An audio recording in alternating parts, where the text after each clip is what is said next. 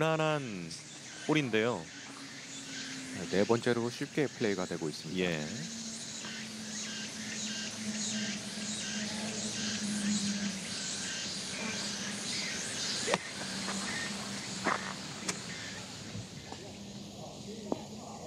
어, 좋아요. 박현경.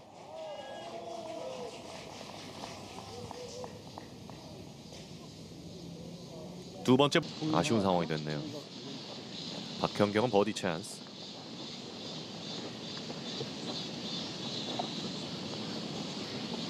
오,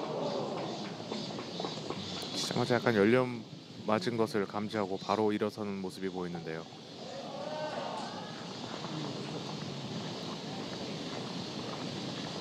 세컨샷에서 굉장히 만족스러워했던 박현경인데 아,